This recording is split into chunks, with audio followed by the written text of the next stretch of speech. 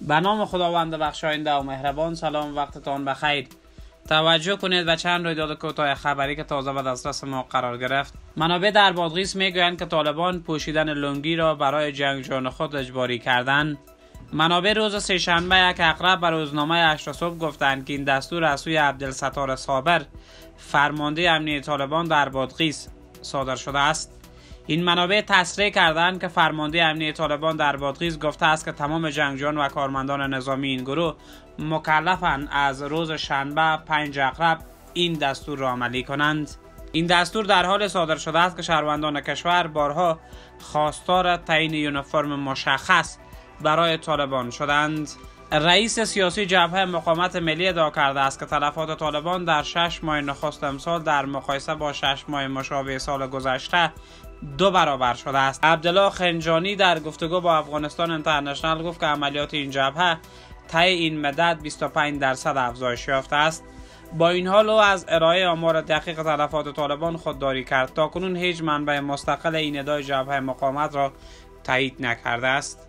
در این حال جبهه مقاومت ملی ادعا کرده است که در یک حمله بر طالبان در ولایت بادغیس دو جنگجوی این گروه کشته و دو تن دیگر زخمی شدند.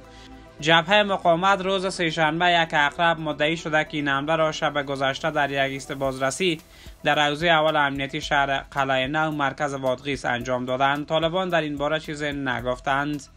گفتنی است که منابع شب گذشته و روزنامه اشرا صبح تایید کرده بودند که افراد ناشناس بر ایست بازرسی طالبان در شهر قلعه نو بادغیس بم دستی پرتاب کردند. جبهه مقاومت دو روز پیش نیز مسئولیت کشتن یک جنگجوی طالبان را در ولایت کاپیسا بر عهده گرفته بود. حملات جبهات ضد طالبان در روزهای اخیر افزایش یافته است. انفجار و درگیری مسلحانه در اومه قصر شاهی جبل سراج منابع از وقوع انفجار و درگیری مسلحانه در ولسوالی جبل سراج ولایت پروان خبر دادند. این منابع به روزنامه هشت صبح تایید کردند که ساعت 6 و 50 دقیقه شام سهشنبه یک اقرب انفجار در نزدیکی قصر شاهی جبل سراج رخ داده است به گفته منابع از آن زمان تا کنون درگیری های پراکنده در این محل جریان دارد. تا کنون از نویات انفجار و تلفات احتمالی ناشی از آن جزئیات در دست نیست. طالبان هم در این مورد چیزی نگفتند.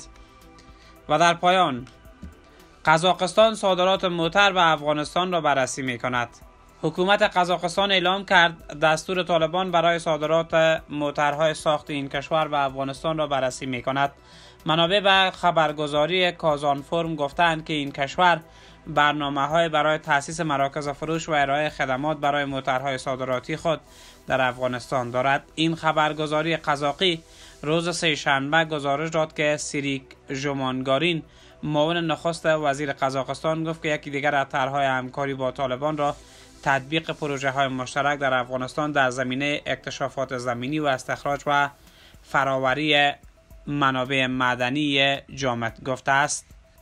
این موضوع در نشست تجاری بین مقامات قزاقی و طالبان در آلماتی مطرح شده است. پیشتر طالبان به نقل از نخست وزیر قزاقستان گفت که این کشور را شریک اقتصادی جدای ناپذیر خود تلقی می کند تشکر از توجهتان. تا بعد بدرود.